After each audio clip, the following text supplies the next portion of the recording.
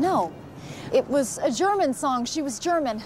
And my Nana got very sick recently, and I went to visit her and I had her sing it for me one final time. I recorded that song on my phone, and I'm glad that I did because she died a few hours later. It was my birthday. Miss Lemon, I am so sorry. Would you sing it for me? Hast du etwas Zeit für mich, dann singe ich ein Lied für dich. Stop.